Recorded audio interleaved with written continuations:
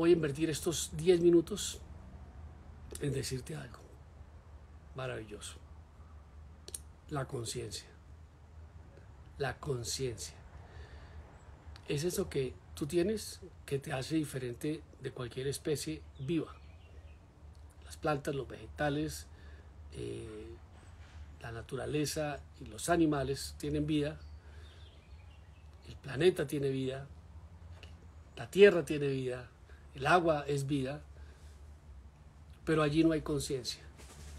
El único ser consciente eres tú, porque provienes de un creador que es la majestuosidad de la conciencia, es la conciencia divina. Y esa conciencia eh, está en ti, inmersa en ti, es tu esencia. Ahora hay que darle chispa a esa conciencia, hay que entrenarnos en la conciencia, hay que ser conscientes de, que la conciencia está en nosotros y hacer buen uso de ella. Eh, se llama el despertar de la conciencia y lo logras a través de la disciplina en la meditación, en la oración, en la reflexión, en la contemplación. Cuando eres consciente entiendes que todos estamos aprendiendo en este camino de la vida, que unos van más avanzados que otros en el despertar, en la luminosidad de su ser, y que tú entiendes que para darle combustible a esa lámpara llamada alma que hay en ti, debes ir en busca del amor, debes ir al, tesoro, debes ir a, a la provisión, al proveedor de amor, que es un todo de amor.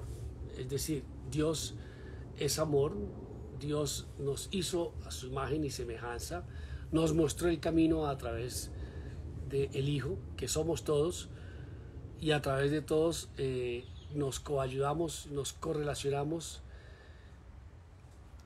nos apoyamos, nos damos, compartimos esa energía divina que es el amor, y eso sería la conciencia. ¿Quiénes fueron conscientes de la existencia de Dios en su ser? pues los profetas, los que dejaron un legado en el camino para la humanidad. Abraham, Isaac, Jacob, Moisés, el rey David, Salomón. Y toda la escritura está llena de historias que, de seres que como tú o yo fueron escogidos. Tú también fuiste escogido. Lo que pasa es que necesitas despertar tu conciencia para llenar tu espíritu de amor cada día y empezar eh, a sentir qué es dar amor a cambio de pedir y exigir amor, que me quieran, que me comprendan, que me amen, que me perdonen, eh, que me ayuden, que me den. No, prueba hoy conscientemente cómo sería en, unidirección, de, de ti hacia los demás. Claro, para dar tu amor comprensión, cariño, buen trato, respeto, tolerancia, afecto, necesitas darte tú mucho amor proveniente del amor de Dios. Te, llenas del amor de Dios en ti y como, como estás llena, lleno de amor, entonces puedes servir, puedes dar amor. Eso fue lo que hicieron los que te acabo de mencionar. Y ya más acá, pues me llegó hace 3.000 años, porque fue 550 años antes de Cristo estuvo Siddhartha Gautama, el Buda, y se llenó de amor y de compasión, experimentó la compasión y el desapego y dedicó su vida a encontrar la luz a través del desapego y trascendió en un nivel de conciencia eh, grandes estudios, eh, profundos estudios que he realizado, investigado sobre eh, la, relación entre Buda y Jesús te sorprenderás, pero no te lo voy a decir aquí porque pues, pero están muy conectados, muy, muy. La, la relación entre vos y Jesús es el amor y entre Jesús y tú también es el amor. Y si quieres le metemos a, Mahoma y a San Germán y a Krishna y a Gandhi y a Mandela y a la Madre Teresa y a San Francisco de Asís y a San Agustín y a aquellos que no fueron santos pero fueron tan buenos como tu abuelita y como la mía. La conciencia es aquello que te hace brillar, ser consciente de que tú eres un ser y que vives desde el ser, no sobrevives desde el hacer y el tener. Ahora te voy a dejar una publicación que habla de eh, esa gran diferencia del ser, hacer y el tener y cómo em, tú compactas toda tu integridad en el ser. Tú eres amor, yo soy amor, yo soy luz, yo soy paz interior y eso es como, como eso es lo que soy, eso es lo que doy. Eh, un árbol, si el árbol se expresara y se hablaran entre los árboles, ¿tú qué eres? Yo soy manzano, yo soy un durazno, yo soy eh, una palma. Entonces eh, su fruto será la semilla de un manzano, de un durazno o de una palma y eso se expandirá a través de los soplos de amor que hace la vida, el mundo, la naturaleza a través del viento y la semilla vuele y cae, vuela y cae y germina y nace otro manzano, otro durazno, otra palma. Bueno, así somos nosotros, una semilla de amor que se expande. Pero nosotros no somos miedo. Nuestra conciencia no es el temor, ni el miedo, ni la duda, ni el rencor, ni la rabia, ni el egoísmo, eh, ni, ni la necesidad de ser más que los demás. Nosotros somos amor. Y cuando tú eres consciente de que eres amor, das amor y te vas a sorprender. ¿A quién darle amor? ¿A los que te aman? Eso sería muy fácil. El reto hoy está en que le des amor a quienes no te aman. Es más, prueba hoy darle amor a quien tú no amas, a quien tú desprecias, a quien tú rechazas porque se equivocó consigo mismo y por proximidad tú te viste afectado o afectada. Nota que no te estoy diciendo a quien te hizo daño. Hubo una circunstancia infortunada de inconsciencia, una persona con vacíos, llenando esos vacíos de emociones como el miedo, con el cerebro reactivo, el cerebro reptil eh, en reacción permanente, sobreviviendo, y pues se equivocó y te ofendió, te hirió, te dañó, te maltrató, te, violentó, te abusó y generó en ti un quiebre en tu alma, ¿no? Entonces tú creciste diciendo que eso es imperdonable y que te destruyeron la vida y encima otros te dijeron que sí, que ese es un maldito y nadie eh, hasta hoy te ha venido a decir que le perdones y que le ames y que le proyectes mucha luz a su camino oscuro porque esa persona debe estar en sufrimiento, debe estar en absoluto dolor eh, por la culpa. Entonces eh, esa persona está siendo esclava de sus sentimientos de dolor, esclava del sufrimiento. ¿Y sabes quién le puede liberar a esa persona por su error? Respóndeme. ¿Quién libera a una persona del sufrimiento, del dolor y de la culpa que lo tiene atrapado siendo esclava, esclavo? Hay alguien que puede liberar a esa persona de ese fango. Bien, lo dijiste. Porque muchos dirían, Dios, Dios, Dios. Y yo te digo, Dios en ti. Cada vez que tú perdonas, es Dios en ti. Es Dios perdonando a esa persona. Es Dios en ti en últimas, eres tú.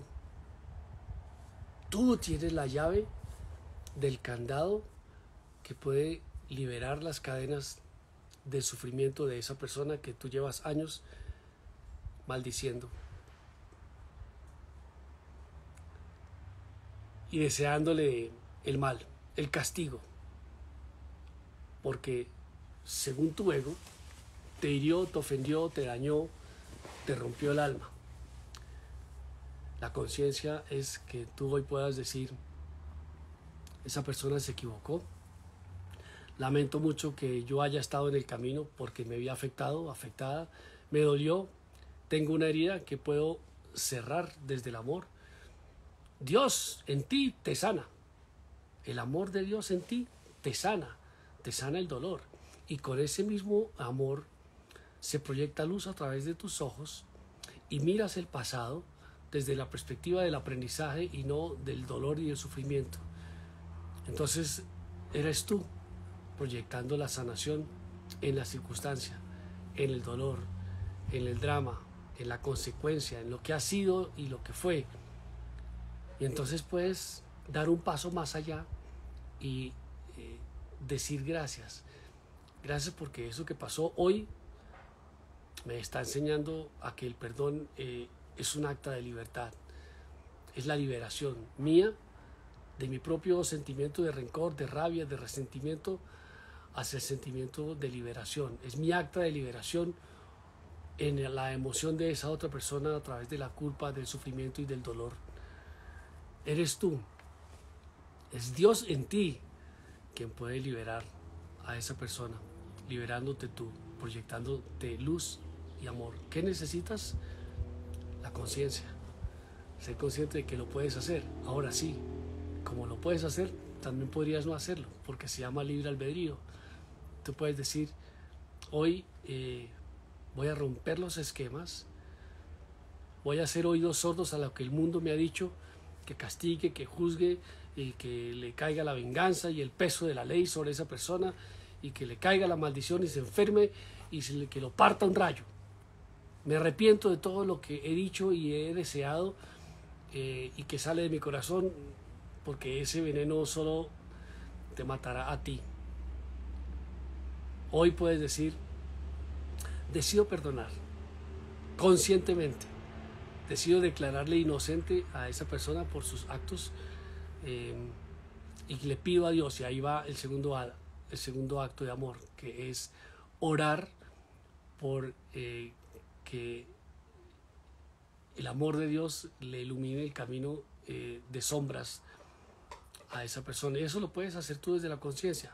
Te repito, podrías no hacerlo, podrías seguir tu camino tapando ese dolor con, trabajo, con dinero, con otra relación, eh, con sustancias, haciéndote el que no pasó y caminando hacia allá eh, sabiendo que guardas un rencor hacia esa persona. O puedes parar hoy y conscientemente eh, decir, no lo voy a hacer más así. Voy a cambiar la forma de ver eso que sucedió hace años desde la perspectiva del amor.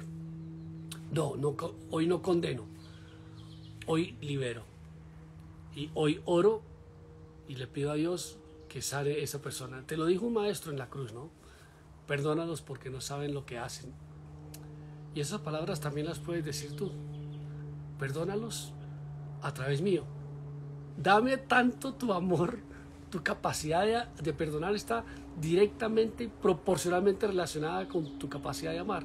Entonces, si quieres hacerlo, si quieres probarlo, pide, pide amor para ti y con ese amor podrás perdonar. No es sentarse a decir, bueno, perdónalos porque no sabes lo que hacen. Yo sigo aquí trabajando. No, dame tu amor para yo perdonarlos a través de tu amor, porque cuando lo hicieron no sabían que lo estaban haciendo. Eh, no te hirieron conscientemente. nadie lo hace conscientemente. No, es esa persona. Así sería eh, preparado para hacerte daño. Eh, créeme que no fue esa persona, fue su ego. Hay, hay un yo interior herido em, en su infancia. Esa otra persona con toda seguridad sufrió dolor, maltrato, de abandono y simplemente está reaccionando por el mundo y en el camino se encontró contigo, pero no se levantó a dañarte ese día. Entonces puedes declararle inocente eh, y seguir tu camino y ir limpiando tu camino de esos resentimientos que no te ayudan. Esa es la conciencia. Ahora, la conciencia transpersonal es cuando tú haces uso de la luz divina en tu ser para elevar y despertar tu conciencia de tal camino, de tal manera que no solo alumbre tu camino, sino que ilumine el camino de los demás, entonces tu conciencia será transpersonal porque, porque afecta positivamente la vida de los otros. Mi conciencia la uso para que conscientemente le pueda servir a los demás. A través de una palabra, eh, de un mensaje, de un apoyo, de mi oído para escucharle, de pasarle un brazo y decirle todo está bien, aquí estoy. Me heriste, no importa, pasa nada, yo, yo te perdono, libérate de esa culpa, ya pasó, pasemos la página, sigue construyendo. ¿Que tenemos que estar juntos? No, no tienes que estar junto a esa persona que con sus actos generó un dolor en ti, pero puedes perdonarle y seguir tu camino y desearle mucho amor.